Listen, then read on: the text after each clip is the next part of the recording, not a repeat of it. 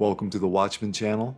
This channel is all about world news and Bible prophecy, pointing to the soon return of our Lord and Savior, Jesus Christ.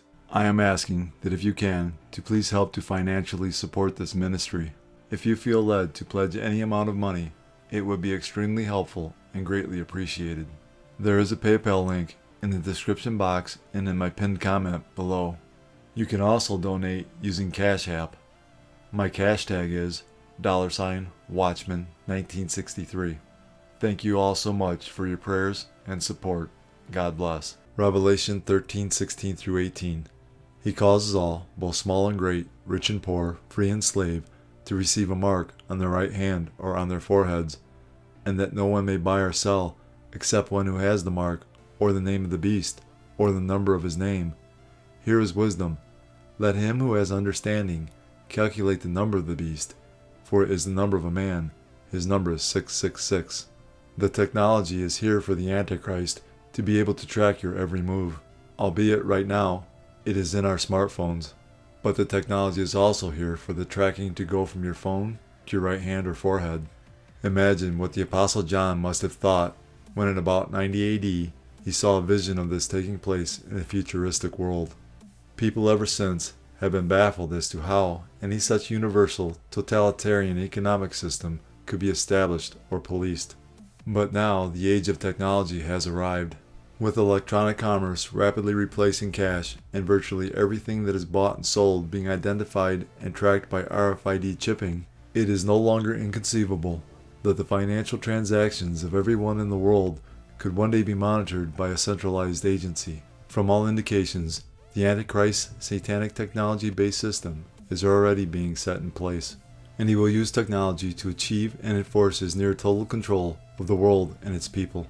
And we are seeing an unsaved world rushing headlong into accepting the mark of the beast, and they don't even know it. When asked whether a Federal Reserve or central bank digital currency might be on the horizon, Federal Reserve Chairman Jerome Powell said no. People don't need to worry about a central bank digital currency. Nothing like that is, is remotely close to happening anytime soon. While Powell admits the central bank continues to work toward this currency, he realizes the obstacles to success are insurmountable. For starters, the Fed knows a central bank digital currency, or CBDC, could wreck the nation's banking industry, threaten the dollar's status as the world's reserve currency, and even threaten the Fed itself. Financial expert Nick Anthony of the Cato Institute and author of the new book, Digital Currency or Digital Control, says CBDCs don't do much of anything well except spy on you and control your money. The government shouldn't be trusted with a CBDC because they're so ripe for abuse. The government would have Americans' data by default. It would be on their servers a click away. Digital money could be programmed solely for use towards certain purchases at certain times or with an expiration date. It could also be turned off, like how the Canadian government froze hundreds of bank accounts to stop the Canadian truckers' blockade over COVID restrictions. Programmability has been something that many central banks and many governments have been looking into, where payments could be programmed or the money itself could be programmed. However, Americans already have digital money from credit and debit cards to apps like PayPal and other cryptocurrency. In addition to competing directly with those financial tools, a central bank digital currency would be able to divert funds that private banks need to survive. If we think about the current banking system where deposits come in and then banks use those deposits to fund loans, a CBDC poses a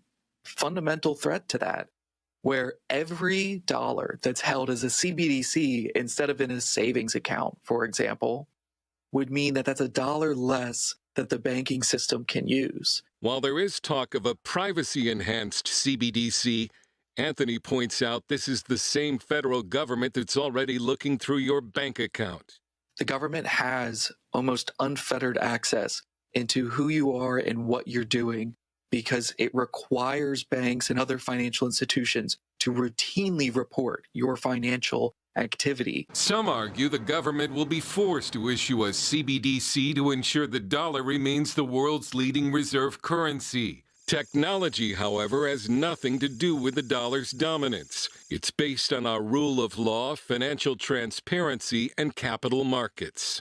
A badly managed CBDC, though, could cause other nations to ditch the dollar. This doesn't mean a digital dollar won't happen one day. Controlling people's money is, after all, the ultimate instrument of government control. God is omnipotent. He is all powerful. God is omniscient. He is all knowing. God is omnipresent. He is present everywhere. Satan, in sharp contrast, does not reflect these divine attributes. Satan is very powerful, more than any man, and more powerful than most angels.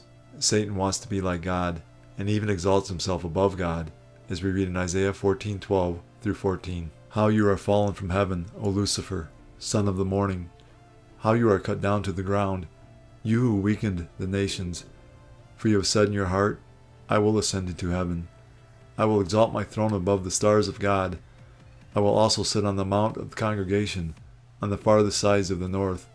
I will ascend above the heights of the clouds. I will be like the Most High.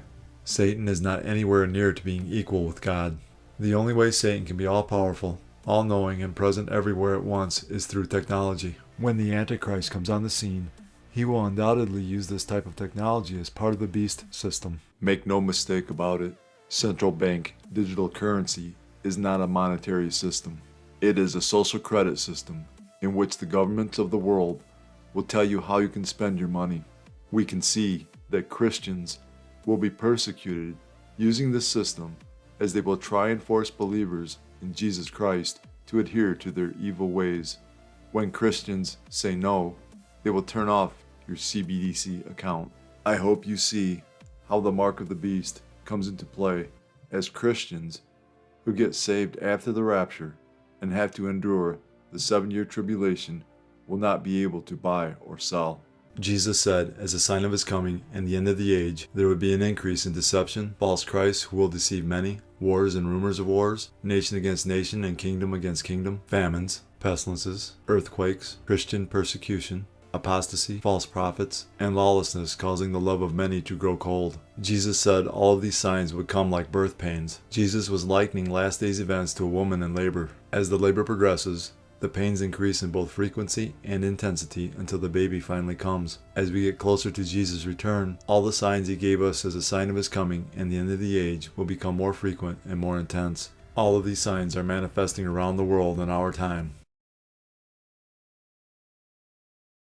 Israel is coming under attack on all fronts in Gaza, in the north, and within Judea and Samaria. In Gaza, the IDF has been operating in the south and central areas. On the northern border, heavy cross border exchanges with Hezbollah and in Samaria pursuing a terrorist gunman who wounded three Israelis. Day 284 of the war in Gaza. The forces of Division 162 continue fighting in the Rafah area. Over the past 24 hours, IDF ground forces eliminated a number of terrorists in coordination with the Air Force.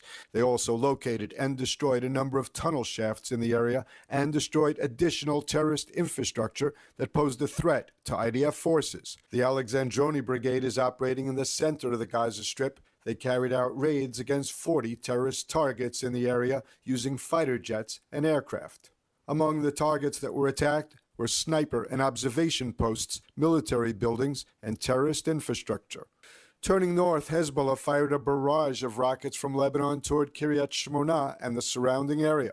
Most of the rockets were intercepted and no injuries were reported. The barrage follows an attack by an Israeli aircraft on a car in Syrian territory near the Lebanese border. That attack eliminated a Hezbollah commander and also businessman Mohammed Bara al Katarji, close to the Assad regime. The businessman served as a money changer who helped finance Hezbollah and other organizations in the region. The cross border attacks are ongoing. The Air Force struck a military storage facility in the Jabal region alongside a Hezbollah military structure in Kafar Kila in South Lebanon. And in Samaria, three Israelis were lightly wounded today when terrorists opened fire on a vehicle.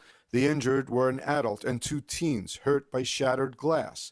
They were transferred to hospital for treatment. Over 50 bullets were reportedly fired. The gunman fled the scene after the shooting with the IDF in pursuit. After the shooting, the head of the Samaria Council, Yossi Dagan, said, There is a war in Judea and Samaria, just like there is a war in Gaza and on the northern border. As a sign of his coming and the end of the age, Jesus declares, And you will hear of wars and rumors of wars.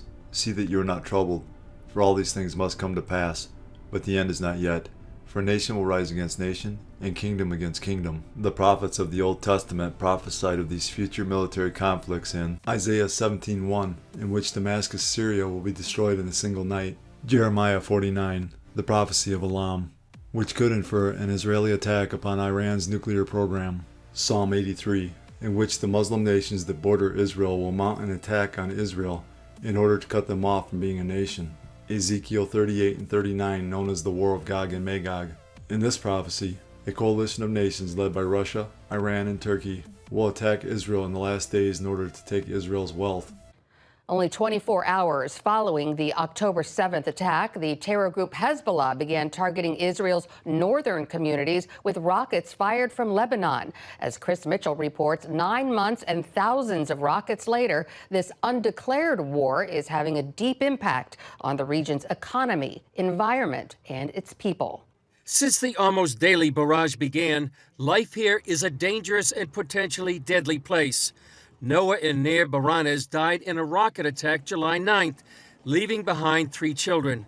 They're among dozens of civilians and soldiers killed by Hezbollah. Now, most communities along the Lebanese border stand nearly empty. Another casualty is the land itself, due to wildfires created by the combination of rocket fire and dry summer conditions throughout northern Israel, the Galilee, and the Golan Heights. The fires started by Hezbollah rockets have destroyed tens of thousands of acres and thousands of trees, some planted as far back as 60 years ago.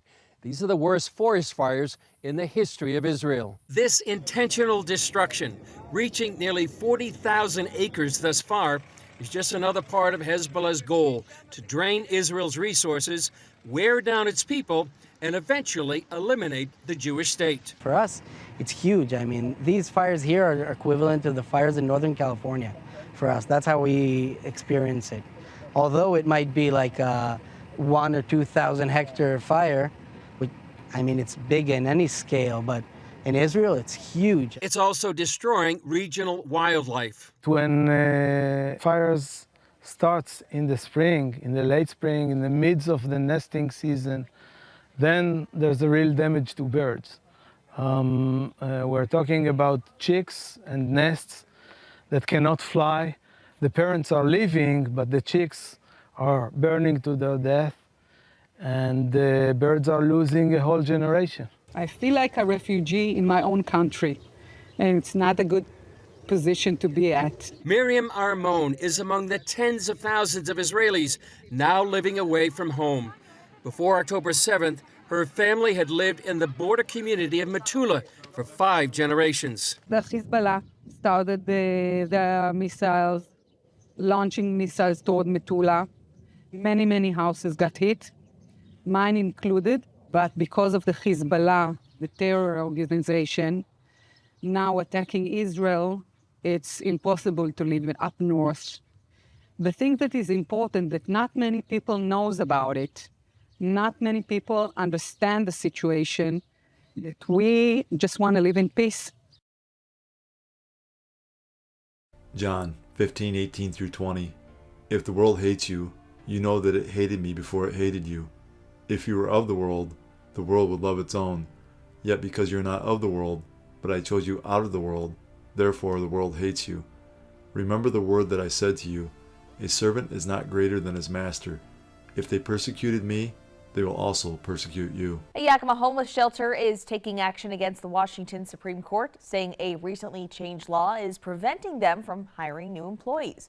Tonight we hear from the Yakima Union Gospel Mission and the response from the Washington State Attorney General just want to be able to keep doing what we've been doing for, for 86 years, almost 87 years. To, to do that, we need to be able to hire people that uh, share our, our religious outlook. The Yakima Union Gospel Mission CEO Mike Johnson says they're struggling to fill crucial positions. They used to be able to exclusively hire people who align with their values, meaning Christian, and not a part of the LGBTQ community. The issue here is the fact that Washington Supreme Court recently uh, really gutted the state's religious employer exemption.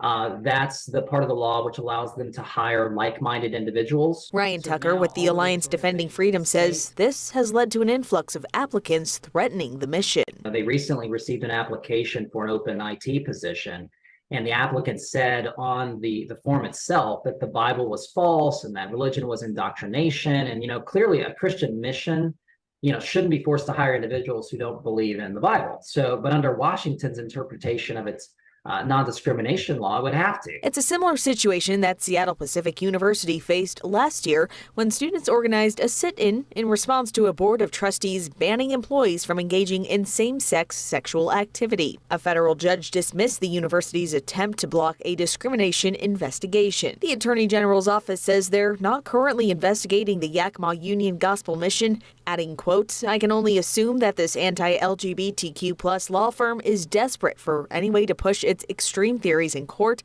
and they'll be seeking an early dismissal. Johnson says they just want to keep helping anyone who needs it. This is a really severe environment for organizations like ours, and and we need we need some help. We're we're we're scared to death of, of what's coming down the pipe for us. By forcing the mission to to hire people that don't share its beliefs, I mean the state of Washington really undermines the the great work that the mission is doing. Uh, it threatens its very existence and uh, certainly violates the Constitution of the United States. And the mission does help anyone regardless of their sexuality. We'll be keeping an eye on to see how their complaint plays out in court. Matthew 5 10 through 12. Blessed are those who are persecuted for righteousness' sake, for theirs is the kingdom of heaven. Blessed are you when they revile and persecute you, and say all kinds of evil against you falsely for my sake. Rejoice and be exceedingly glad, for great is your reward in heaven for so they persecuted the prophets who were before you. Here at the Union Gospel Mission in Yakima, because we believe that God loves everybody and doesn't make disposable people, we offer shelter and food and recovery and counseling and case management. Our faith is what drives us into this space. It's also the essence of our community as coworkers. The government currently forces religious organizations to hire people who don't hold or adhere to the same beliefs on marriage and sexuality. The mission is a Christian ministry and should be free to hire people who share and live out these same Christian beliefs. And that's why we're fighting in court. Most of the folks that go to the street in addiction and mental health problems, they grew up in a lot of trauma and they need more than stuff. They need healing. And so it's really important that Jesus is alive at the center of everything we do because that's actually what makes what we do unique. Remember to pray for our persecuted brothers and sisters in Christ. Remember the prisoners as if chained with them, those who are mistreated, since you yourselves are in the body also. Hebrews 13:3, 1 Corinthians 12:26. And if one member suffers, all the members suffer with it, or if one member is honored, all the members rejoice with it. 1 Corinthians 16:13. Watch, stand fast in the faith, be brave, be strong. As you may know, Colorado is one of the worst states in the nation when it comes to the bird flu outbreak. The virus has infected an egg-laying chicken farm out in Weld, Weld, County, where all the birds there, 1.8 million, will have to be killed. And in the last month, 26 herds of dairy cattle have been infected here, too, the most of any state. Colorado says three more people in the state may have the bird flu. The state is now still waiting for confirmation from the CDC. The state health department says all three are workers at a facility dealing with an outbreak of the virus. The state says they work in northeast Colorado but did not specify exactly where. Investigators suspect the workers had direct contact with infected poultry. The workers have mild symptoms, including pink eye and some respiratory issues. The state reported its first case in humans last week. So if those cases are confirmed by the CDC, Colorado would have more cases in humans than any other state. Though with just four cases, that number would still be very low. Earlier this week, Democratic Governor Jared Polis declared a disaster emergency over the avian flu. A lot of people still have questions about what this means for them, so let's get some answers with Dr. Bob Belknap, the Executive Director of the Public Health Institute at Denver Health. Okay, bottom line, what do you want people to know about this in terms of how much this could possibly spread? Could it be the next pandemic? It could evolve. That's the reason that it's being tracked, and it's been, we've been tracking it now for a couple of years. Uh, the virus cha has, changes and has changed, and if it continues, it could become more more pathogenic to people, so make people sicker, and change to where it can transmit from person to person. And then, yeah, that could cause a pandemic gain of function research, which is sure. when you manipulate these viruses to make them highly transmissible right. to humans and then try and come up with a vaccine to stop it. And of course, it, it, the theory here, and you, something you have always uh, believed, is that there was a mistake, an accident at the lab, and somehow that virus leaked out. You, this raises real ethical questions about this gain of function research happening in labs, not just in Wuhan, but around the world. Um, you think they should all be stopping this? Yeah, I wrote an op-ed with Marc Siegel in the uh, Wall Street Journal a, a, little while back, really calling for a moratorium on gain-of-function research. I think it puts our world at great risk. Um, we have the risk of natural spillover, but there is a species barrier. I'm obviously most worried about bird flu. Mm-hmm. Uh, right now, it takes five amino acid change uh, for it to be effectively infecting humans. That's a pretty heavy species barrier, but th- this virus is already now in 26 mammal species, as you saw most recently, cattle. But in the laboratory, I could make it highly infectious for humans in months because it's been wow. published the uh, five amino acids that I need to change. And so I don't think that research should be done. That's the real threat. That's the real biosecurity threat that these university labs are doing these bio, uh, bio experiments that are intentionally modifying viruses, and bird flu, I think, is going to be the cause of the great pandemic, uh, where they are teaching these viruses how to be more infectious for humans. The World Health Organization has issued a stark new warning about global readiness for the so called disease X, a term for the next hypothetical deadly pandemic that's going to hit us someday. The next pandemic is a matter of when, not if. And as things stand, the world remains unprepared for the next disease X and the next pandemic. Jesus prophesied of future plagues associated with the last days, as we read in Luke 21:11. And there will be great earthquakes in various places, and famines and pestilences, and there will be fearful sights and great signs from heaven. This health worker is one of many in Honduras going door to door spraying insecticide against mosquitoes.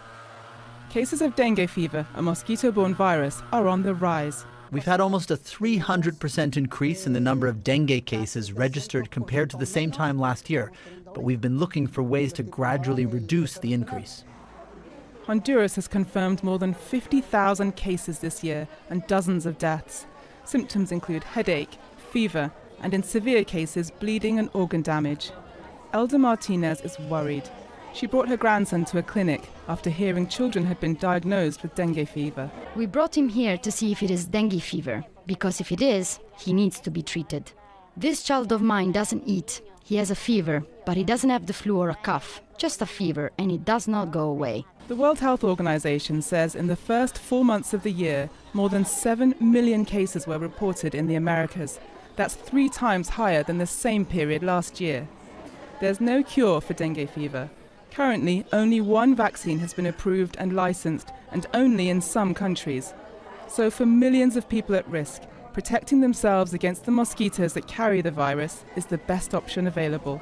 There are two key prophecies concerning Jesus' signs of his coming and the end of the age that are crucial to discerning that we are living in the last days. The first prophecy is found in Matthew 24 8. All these are the beginning of birth pains. Jesus was likening last days events to a woman in labor. As the labor progresses, the pains increase in both frequency and intensity until the baby finally comes. This is how end time signs such as wars, famines, pestilences, and earthquakes will occur. They will become more frequent and more intense as we get closer to Jesus' return. The second prophecy is in Luke 21:28. Now when these things begin to happen, look up and lift up your heads, because your redemption draws near. Notice Jesus said when these things begin to happen. Jesus was saying that when you see a convergence of Bible prophecy, Look up and lift up your heads, because your redemption draws near. We are witnessing not only the convergence of Bible prophecy around the world, we are experiencing the frequency and intensity of these prophetic events as well. The signs of Jesus' soon return are so strong now, and the evidence is so clear, that any person willing to accept the truth can see that the end of the world, as we know it, is near. For God so loved the world that he gave his only begotten Son, that whoever believes in him should not perish, but have everlasting life. For all have sinned and fall short of the glory of God. But God demonstrates his own love toward us, in that while we were still sinners, Christ died for us. For the wages of sin is death, But the gift of God is eternal life in Christ Jesus our Lord, that if you confess with your mouth the Lord Jesus and believe in your heart that God has raised him from the dead, you will be saved. These are the ABCs of salvation. A. Admit that you're a sinner. B. Believe in your heart that Jesus Christ died for your sins, was buried, and God raised him from the dead. See, Call upon the name of the Lord, and you will be saved. Jesus paid the price for mankind's sin. He has provided a way to spend eternity with Him and the Father. All you have to do is believe in the Lord Jesus, and you will be saved. God has already done all the work. All you must do is receive, in faith, the salvation God offers.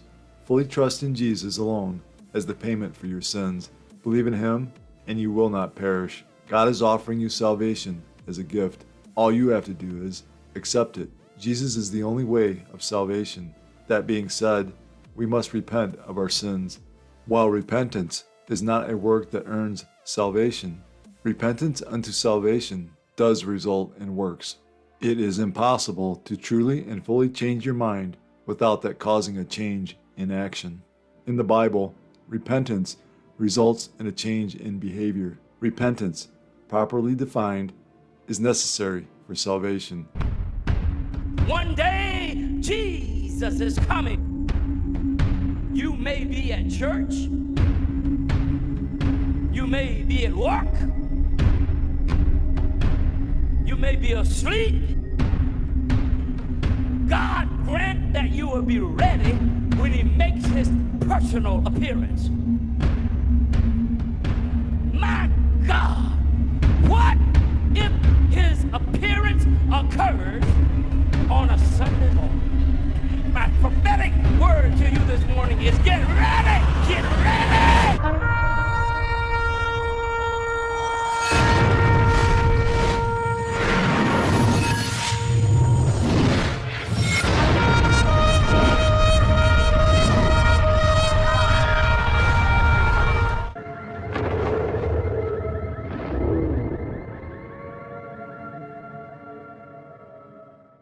Time is short.